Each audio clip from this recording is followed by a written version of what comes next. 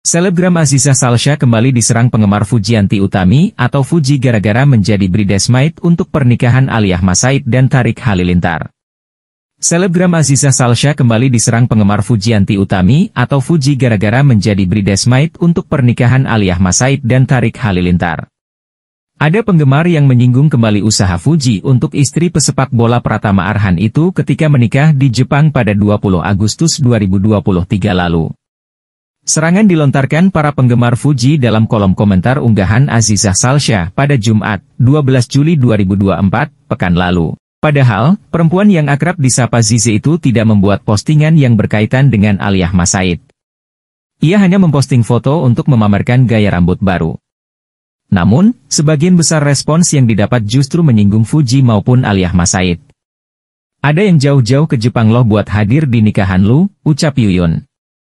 Jangan lupa sama Utiza, gimana pun kan ada campur tangan dia di ketenaran kamu, imbuh Larissa.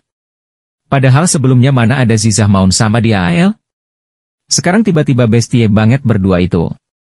Jadi makin ilfeel sama si AL, ungkap Putri. Di lain sisi, Fuji sempat buka suara soal penggemar yang menduga dirinya marah kepada Azizah Salsha karena menjadi bridesmaid Putri Reza Artamevia. Terlebih, Fuji belakangan ini jarang terlihat nongkrong bersama Azizah Salsha.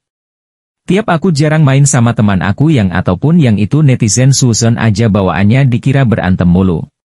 Stop ya netizen, Please capek benar, tuturnya beberapa waktu lalu, selain itu kisah percintaan Fuji tak pernah lepas dari sorotan publik. Setelah putus dari Tarik Halilintar, putri bungsu Haji Faisal itu memilih memprivasi hubungan asmaranya. Fuji hanya sempat dirumorkan menjalin hubungan dengan beberapa pria. Contohnya seperti Asnawi Mangkualam, El Rumi, Teku Rasya, Raffi Febriansyah, hingga Satria Ananta. Terlepas dari Fuji yang kini memilih memprivasi hubungan asmaranya, dapat diketahui bagaimana kriteria pria idaman adik ipar mendiang Vanessa Angel tersebut. Pasalnya, ia pernah belak-belakan mengungkap bagaimana kriteria pria idamannya ketika berada di konten YouTube Maharani Kemala beberapa tahun silam.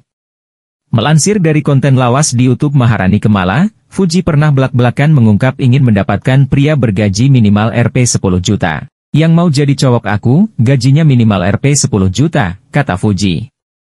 Adik Franz Faisal dan Fadli Faisal itu menjelaskan bila dari gaji Rp 10 juta tersebut, ia akan meminta jatah sebesar Rp 8 juta, sisanya baru untuk pasangannya.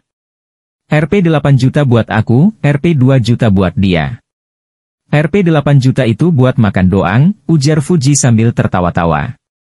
Tenang aku bisa cari duit sendiri kok.